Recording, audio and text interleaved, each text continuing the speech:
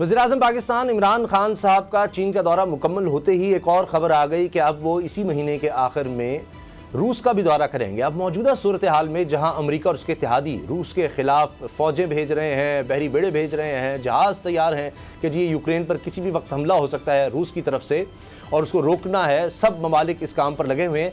ऐसे वक्त में इमरान खान साहब का रूस का दौरा, ये बड़ी अहमियत रखता है। क्या वजह है कि इमरान खान साहब ने ऐसे वक्त में फैसला में फैसला किया? क्या वो एब्सोल्युटली नॉर्थ जो अमेरिका को कहा था, अब बिल्कुल दूसरे ब्लॉक में जाया जा रहा है, जबकि पाकिस्तान तो कहता है कि हमने किसी ग्रुप का, किसी ब्लॉक का, किसी धड़े का हिस्सा नहीं बनना।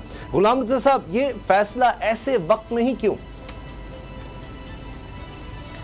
देखिए सबसे अहम बात यह है कि ऐसे ममालक के दौरे एकदम नहीं हुआ करते। दूसरी बात यह है कि इसमें हमारा कोई कमाल नहीं है कि उन्होंने हमें अब बुलाया है या वो छः महीने बाद बुलाएँगे या साल बाद बुलाएँगे। इस तरह के दौरों के लिए हमेशा से रबते होते रहते हैं और पिछले साल आपने सुना होगा बल्कि ख़बरें भी छपी कि पुटन आ रहे हैं पाकिस्तान और वो पाकिस्तान का दौरा करेंगे। इक्कीस में ये बड़ी खबर चली थी लेकिन फिर बाद में ये फैसला हुआ कि वो नहीं आ रहे। तो इस तरह की ये रशिया का फ़ैसला है और पाकिस्तान का इसमें यही है कि अभी जो रिसेंट मुलाकातें हुई थी वहाँ पे एक दफ़ा फिर रिक्वेस्ट की गई दफ्तर ख़ारजा की जानब से वजी ख़ारजा शाह मूम क्रैशी की जानब से चाइना मीटिंग्स के दौरान।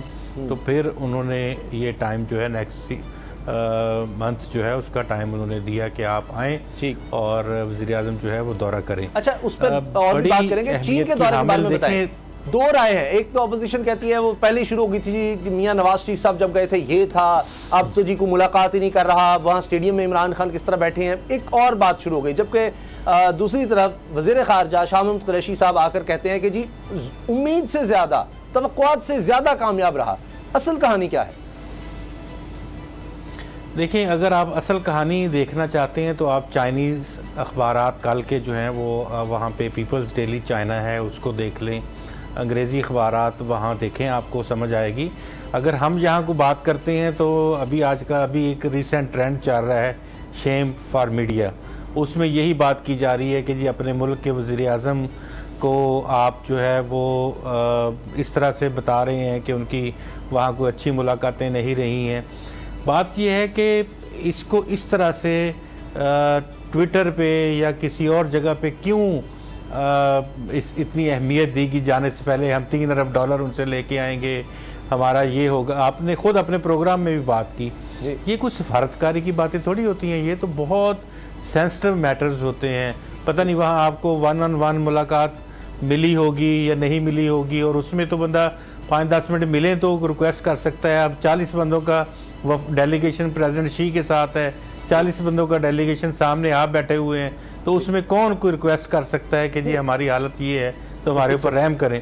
तो ये बहुत सारी चीज़ें मगर यहाँ पे मीडिया के ज़रिए से और सोशल मीडिया के ज़रिए से की जा रही हैं जो कि नामनासिब बात है। हम तो ये कहेंगे इंडिया में अगर जी लेकिन दोबारा लेकिन बाबू साहब ये जो गुलाम साहब ने बात की है ये चीज़ें तो पहले ही कुछ तय हो जाती हैं। तो नहीं हो सकता कि एक सरबराह ममलकत जा रहा है कोई डिग्नेटरी वहाँ से आ रहा है यहाँ से जा रहा है। तो जी वहाँ जाकर प्लानिंग हो रही है। अच्छा जी हम तो ये लेकर वो तो सब चीज़ें पहले भिजवा दी जाती हैं कि जी ये ये है उधर से बता दिया जाता है अच्छा जी ये चीज़ें पॉसिबल हैं ये नहीं है इन चीज़ों पर रिश्ता हुआ।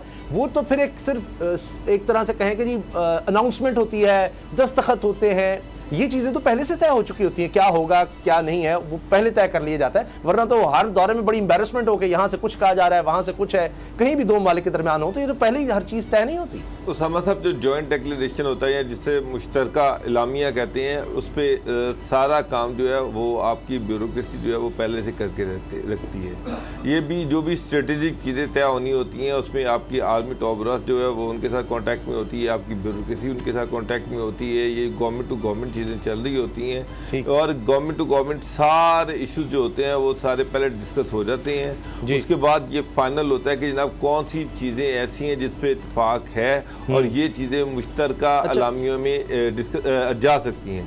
उसके बाद वो चीज़ें जो है मुश्तर में जाती हैं। तो मुश्तर तो ऐसे जब भी शोबा ही नहीं है जिसमें हम चीन साथ इकट्ठे ना हो। जब भी प्राइम मिनिस्टर। किसी मुल्क का दौरा करते हैं और उसका जॉइंट डिक्लेरेशन आता है तो उससे पहले उस पर बैक चैनल में बहुत सारी डिस्कशन होती है। हर एक एक नुक्ते पे बात होती है। ये ऐसे नहीं होता कि दो प्राइम मिनिस्टर बैठे उन्होंने पाँच सात दस इश्यूज़ को डिस्कस किया उसमें से पाँच इशूज फाइनल करके उस पर जॉइंट डिक्लेरेशन दे दिया। ये चीज़ें सारी पहले से तय हो चुकी होती हैं।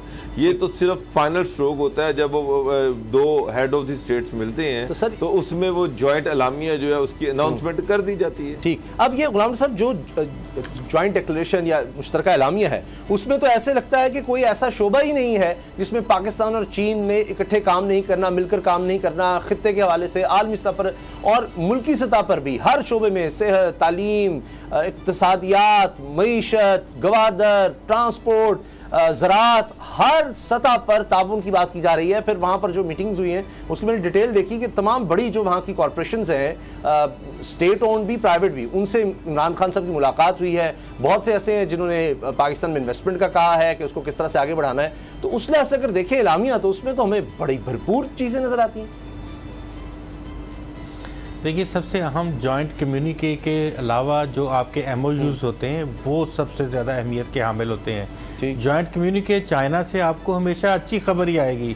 चाइना से आपको कोई ऐसी खबर थोड़ी आएगी कि वो कहेंगे हम पाकिस्तान में इन्वेस्टमेंट नहीं करना चाहते हम ज़रात में कुछ नहीं लगाना चाहते हम फलां रिफाइनरी सेक्शन में कुछ नहीं लगाना चाहते हम जो है वो एनर्जी सेक्टर वहाँ से आपको हमेशा अच्छी खबरें आएँगी। अब उसको एग्जीक्यूशन करना है तो उसके लिए आपके जो यहाँ से लोग गए थे उन्होंने कितने एम किए हैं किन किन कंपनीज़ के साथ किए हैं?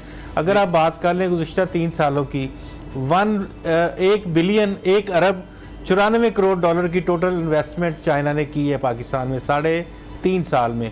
और अगर गुजशत पाँच सालों की हम बात करते हैं जो। कि पाकिस्तान मुस्लिम नवाज़ का दौर था तकरीबन पाँच बिलियन डॉलर की उन्होंने सीधी सीधी इन्वेस्टमेंट जो कि प्लेजेस की मैं बात नहीं कर रहा हूँ। सही सही। ये वो इन्वेस्टमेंट है जो लैंड हो गई पाकिस्तान में। ठीक। वो उन्होंने पाँच बिलियन से जायद कुछ की हम्म। थी पाँच बिलियन डॉलर और ये इस साढ़े तीन साल में की है एक इशारिया चौरानवे यानी कि एक अरब चौरानवे करोड़ डॉलर तो सर आपकी बात तो स्टेट बैंक की आप... स्टेटमेंट आ गई है कि जी चाइना से जो सरमाकारी है उसमें कमी आई। लेकिन अब इस दौरे का मकसद तो यही होगा अच्छा, कि उसको दोबारा तेज किया जाए।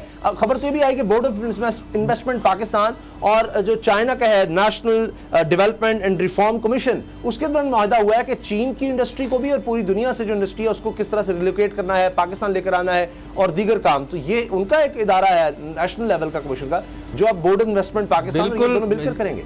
तो ये तो इन्वेस्टमेंट बरह रास्त अब इन्वेस्टमेंट आएगी ना कर्ज तो नहीं है। अहमियत की हामिल तो ये चीज़ है सामा गाजी साहब अहमियत की हामिल तो ये है कि एम एल वन चाइना ने करना था एम एल वन चाइना नहीं कर रहा। तो ये इसके इसके बहुत सारी चीज़ें इसमें देखने वाली हैं इसमें सोचने वाली हैं कि कौन इसमें रुकावट था कौन क्या मांग रहा था हम्म। क्यों चाइना से पैसे मांगे जा रहे थे। उन्होंने कहा कि हम प्रोजेक्ट कर देते हैं। तो प्रोजेक्ट करवा लेते हैं उनसे।